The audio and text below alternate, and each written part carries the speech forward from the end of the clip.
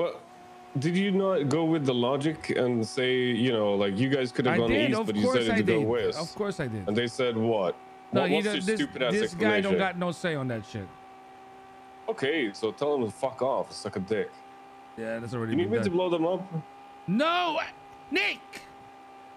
Just no, tell me and I will not blow blowing up. up everything, man.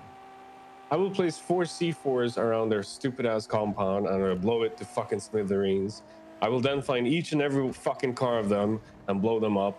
And then I will fucking go there with my bat and beat their senseless. Do you understand? I got you. I got you.